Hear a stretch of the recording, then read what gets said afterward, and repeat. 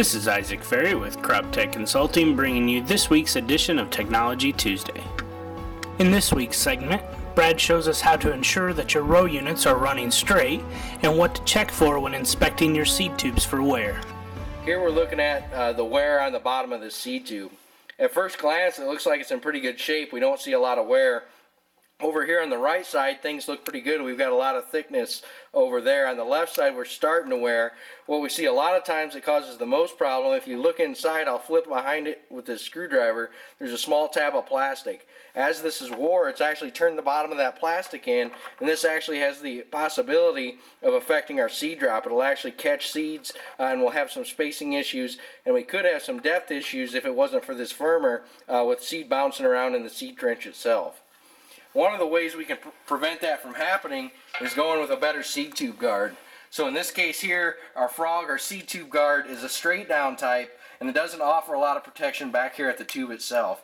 What we'd rather see guys run is a style like this that stays closer to the front of the seed tube and offers a little bit more protection where we need it. So one of the most important things we're going to check here also on the row unit is make sure that the row unit is running perpendicular uh, to the toolbar and nothing's bent back here. A lot of times in the older planters we see a lot of these row units get sprung. It's an important thing to do at the beginning of each year to make sure everything's straight and true.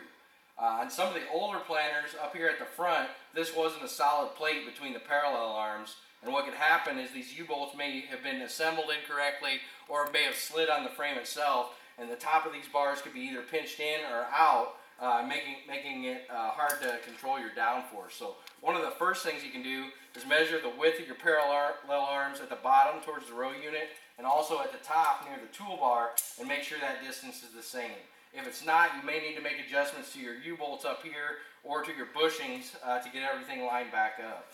As far as the straightness of the row unit itself, the way we're going to check that is we're going to measure from the center of the parallel arms. So in this case, we're going to go off this hole here in the middle, and we're going to measure out a known distance to the outside and mark our toolbar. So in this case, we've measured out from the center on each side 12 inches or a foot, and we put a chalk mark on the toolbar itself. So we've got one on the left side, and again another one over here on the right side, one foot off the center.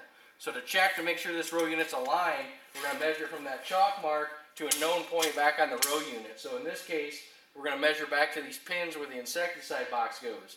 In this case, on the on the left-hand side, we're at 41 and a quarter.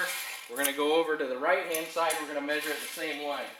So again, from the chalk line to our insecticide post, 41 and a quarter, that would tell us that this frame right here is perpendicular to our toolbar and we don't have anything sprung. Thank you for watching this week's edition of Technology Tuesday. Please check our website for more information and other videos.